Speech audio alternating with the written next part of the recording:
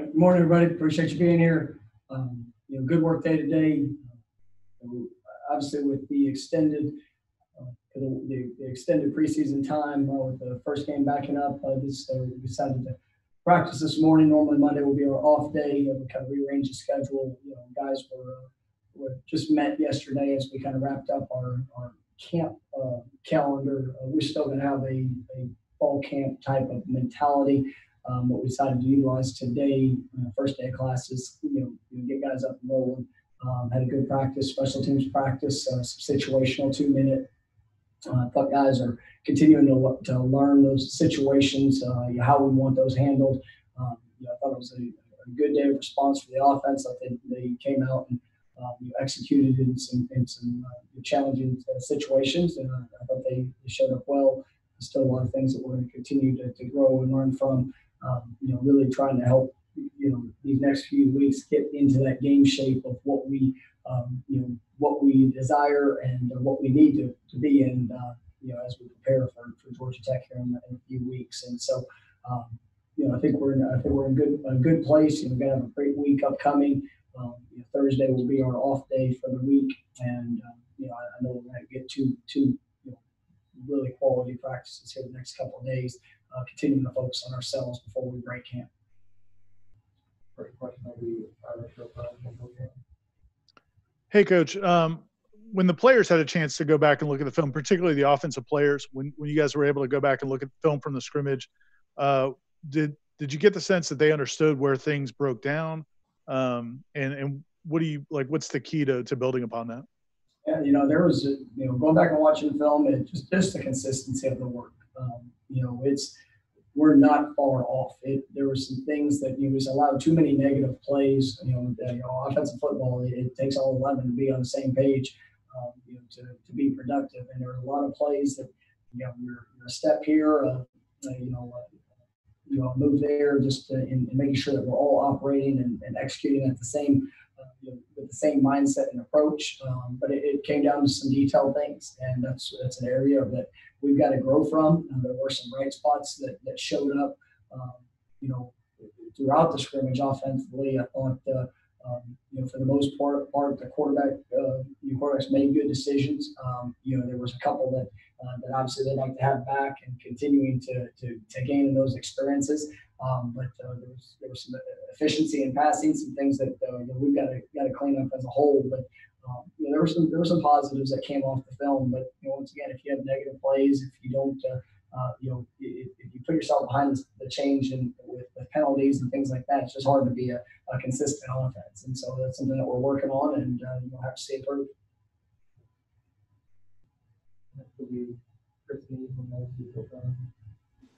Good afternoon, Coach. Just wondering, from a health standpoint, how's the team holding up after two weeks and a couple scrimmages? Not bad. I mean, we're getting, uh, you know, we've had just like anybody else. You know, I mean, it would be, uh, you know, our normal bumps and bruises, but um, we've got a couple guys that are they're working through, uh, working through, um, you know, minor, minor things, but uh, you know, starting to get you know, some some guys back. Uh, you know, like uh, Keyshawn Helton is, is now. You know, we had two weeks of him in a uh, limited jersey. You know, he's he's back to full go. Curtis Fan back to full go. Cory Durden um, back to, to full go. Think starting tomorrow.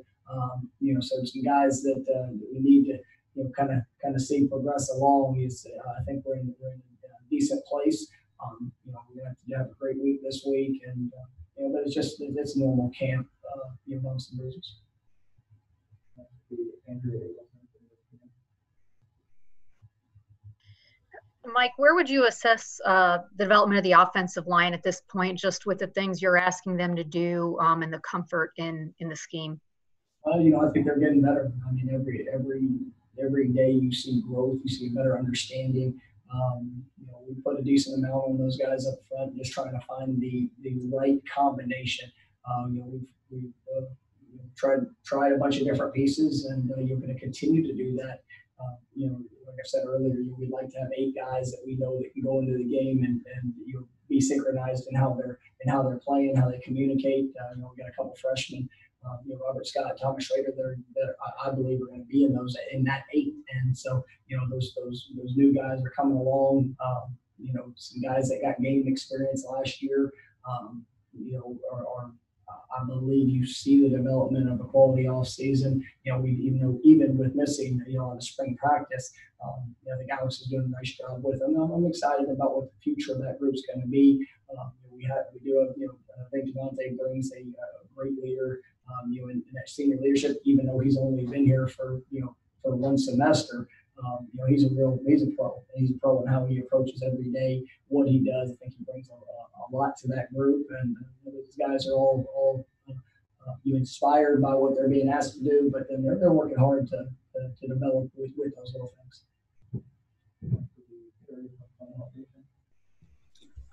Coach, good afternoon. Uh, my question, just out of my own ignorance, what was that orange jersey? Uh, the meaning of that in the scrimmage this week? Um, you know, nobody, uh, nobody in, in, our program wants to see orange, so I'm going to keep the reason of it uh, within uh, within the, the program, but uh, it's usually not a usually not a good thing. So. Oh, sorry. That's I said the orange jersey. I'm sorry. The orange jersey that players were wearing in the scrimmage. I wasn't asking about uh, Warren status. I apologize. I was I didn't answer about any status. I said the orange jersey is not a jersey that we want to see. So the uh, yes, sir. It's uh, I'm gonna keep I'm gonna keep the reasoning of it where it is, but uh, you know. Next question will be Dean Good afternoon, Coach. Uh, I haven't seen, I haven't heard a whole lot from uh, you or Coach Dillingham about Jordan Travis uh, lately. Was he able to scrimmage, and how's he, how's he progressing? Uh, he, he was not able to, to scrimmage, uh, you know, on Saturday. You know, he's he's been uh, been working through a couple things. Um, you know, I think it's not not anything that I'm concerned about, you know, long term. But he's had a couple, you know, couple days where he's he's been on and off. So um, you know he's he's progressing well. I feel confident in, in him and where he's where he's at. He was not able to scrimmage on Saturday.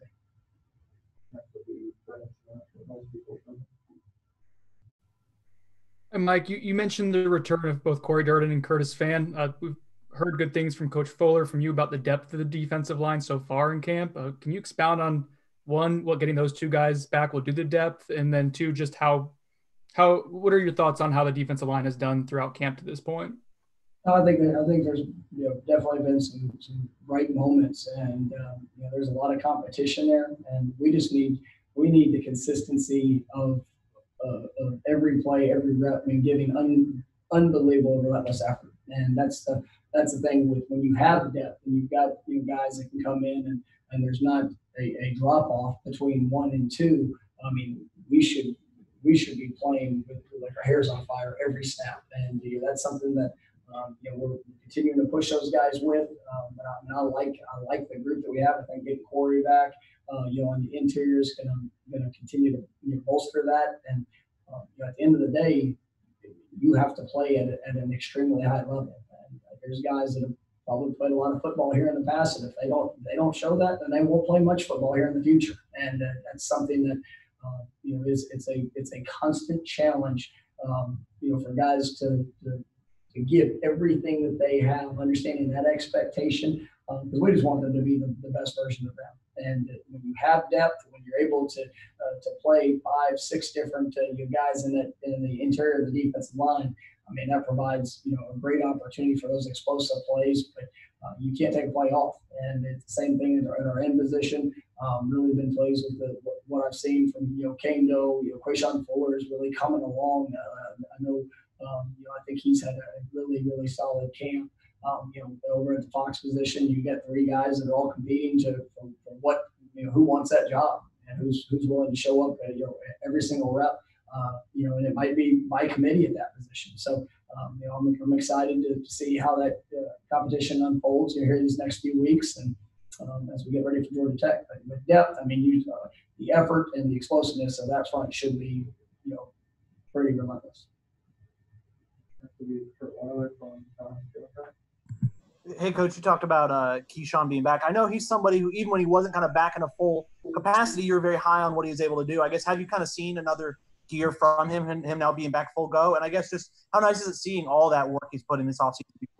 Um, and he did, he did an incredible job with his rehabilitation. And I mean, to see somebody coming off of that type of knee injury and the explosiveness, the change of direction, um, the things that he's able to do really since we began camp. I mean, you know, it's there's going to be a you know getting acclimated you know back into day in and day out some things that you know we're going to be smart with him. But um, you know at the end of the day the, the when the ball is snapped and he's getting his repetitions it's it's impressive to see the, the uh, you know just the explosiveness that he has. And so i'm excited for him. I'm really proud of him for the work that he put in. And uh, excited to see what he's going to be able to do this season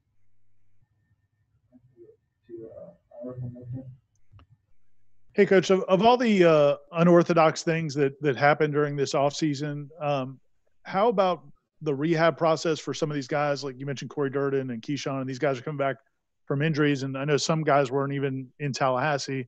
Um, how did that process go, and and how do you feel about how they all came back? Uh, I, feel, I feel really good about it, and uh, you know, I, I got to tip hat to, Jake, you know, our, our athletic training staff. I mean, um, you know, he did a wonderful job. You know, even when guys were not in Tallahassee, of trying to find whether it was an individual clinic or or a place that, that had access to get these guys set up uh, to be able to continue their rehab. Uh, some of the guys, and then you know, some guys made some great sacrifices. You know, some guys did not leave Tallahassee so they could continue to to come in and continue to do their rehab and um, you know, you know, obviously uh, observing and working through the, all the different protocols they had to. Um, but I mean, it, it, shows up. Guys like Keyshawn, like uh, Hamsah, I mean, those, I mean, what they've been able to do. Cory, um, you know, King Dent was one that had a, had an injury in the spring uh, and you know has come back and not not missed a step. So um, you know, really pleased with the work those guys did, and uh, you know, it's putting them in in a nice position to come out and help contribute to this team just from a scheduling standpoint of having kind of a different preseason, do you plan to scrimmage a third time at the end of this week, or do you pivot and go full game preparation? No, we might get we might get a, a couple series here and there throughout the week, you know, where we where we you know rev it up, but um, yeah, probably not going to scrimmage. We'll we'll uh, on Saturday. I'll probably let uh, you know guys that are still competing for those, you know, maybe the, the, the second or third group, you know, get a get a little bit of work at the end of end of Saturday's practice. Um, but you know, we're as we're narrowing down, you know, which we're trying to get that established, and we probably won't do another full team scrimmage.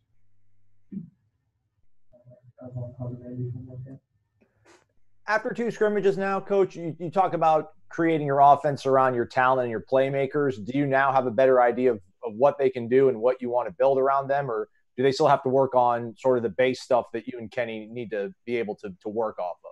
Yeah, I mean that's been a, it's, it's a daily process of, of continuing to evolve what we're doing and how we're doing it. Um, I feel good with, with where we are and the guys of what I, of what I've seen, but um, that's going to continue to develop all the way through the entire season. And uh, I think if you go back and and where I've been in year one, you know what we started with, you know, and probably what it looked like early, um, you know, evolved and changed throughout the season because you know, especially not having a spring practice um, you know, we need as, as, as, many repetitions to to let guys get a great sense and feel for what they're being asked to do. And uh, you know, and then you know, there's some things we took out of the scrimmage the other day that you know we're tweaking here, tweaking there, um, just to, to, really play to the strengths of, of, of, some of the talent that we have. And so, um, but it's that, that's just an, always evolving process.